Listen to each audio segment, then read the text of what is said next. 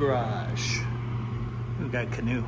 Uh, anyway, we got no heat call, um, and it's all snowy over here.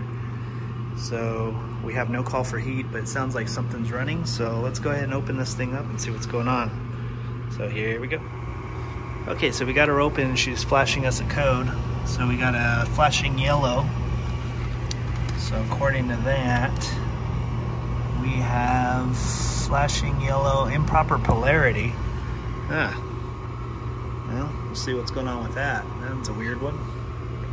See if we can find the power to this thing. So typically if it's a reverse polarity, that means you uh, the hot is hooked to the neutral and the neutral is hooked to the hot. Um, and the flame sensor just won't work. Now the inducer is running nonstop. So this doesn't just happen overnight unless there's some electrical work done. So most likely that module is probably messed up. So yeah, so anyway, we're gonna dig a little more into it and see what's going on. So yeah, see, so it actually has thing here. Ignition control is polarity sensitive. Hot leg of 120, power must supply. Uh, supply must be connected to the black line. Power lead is indicated on wiring diagram or ignition lockout will occur. occur. So that's pretty much what's going on here. Now, if the polarity is correct, um, it's possible that the board died. So um, in some cases, this will be fine. But uh, we're going to try to switch it, and if it still doesn't do it, then I would say the board's no good because it's detecting a polarity problem when there actually is no polarity problem. So this board looks pretty new. I guess they have like a little handyman guy who takes care of this thing, so maybe he changed up the board and reversed some connections, who knows. But we're going to open this up, swap it, and see what happens. Yeah, so check this out. See, white to black, black to white. So that could be our issue. So let's swap it and see what happens. Okay, so it looks like somebody tried to fix it because I'm still getting the same error. So this guy's no good. So we gotta see if we can order one up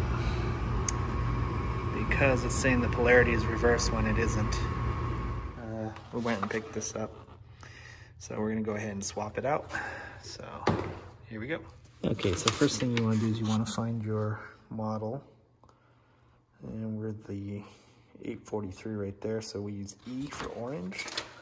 So it's these little program things. So I already snapped it off, but you basically snap the one you need. And that's what it looks like. And then you're gonna go ahead and plug it in through there. So we're gonna do that. And then I believe it's uh, numbers up. Just like that. And just shove it on in there. It's hard to do this one-handed. Just like that. And it is programmed for this particular model module. So let's go ahead and hook it up. Okay, so it's in there. Uh, the old one actually had a D chip in there, so I changed it to D just to match. So let's power this up and see what happens. Hopefully no more blinking uh, orange light because I have no idea what it is at this point. Okay, so got everything corrected and I got a nice green light. So I think we're good. So I think it's calling for heat. I got to check, but yeah, I think it is actually. Okay, so we're receiving a call for heat, as you can see there. I'm going between uh, W and C. Um, I didn't see the igniter come on. There is an extra one in there. We'll see what's up with that. But, yeah. So, um, we gotta see why the igniter's not coming on. So first things first, we wanna make sure we're getting voltage to it. Um, see if it's actually calling for it, and then go from there. So it looks like this one's a multiple offender. so anyway, yep. Okay, so I'm ohming out the uh, igniter and I'm getting an open line. So looks like this igniter's no good.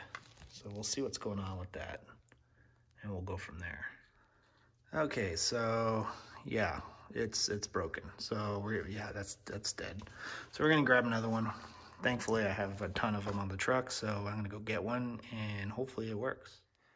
Okay, so this is a White Rodgers hot rod. These things are awesome. Uh, I'm just testing it because you never know, it bounces around the truck. So I am getting continuity, so this one is good. So we're gonna go ahead and put that in there and see what happens. So here we go. Yeah, and uh, I got a couple of these in the comment. I am cleaning the flame sensor. I usually always clean it. I don't always film it, but yeah, I'm cleaning the flame sensor as you can see. So yeah. Anyway, we can get this back together. Okay, so we got her powered up. We got a green light. Awesome. Now let's see if this igniter comes on.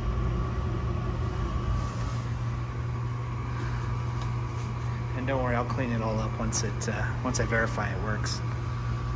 Okay, I heard a click. We have uh, igniter. Now we should be getting gas valve any shortly. I'll just kind of stand back just a bit, just in case. Okay, cool. We got ignition. Ooh. Listen to that thing rumble.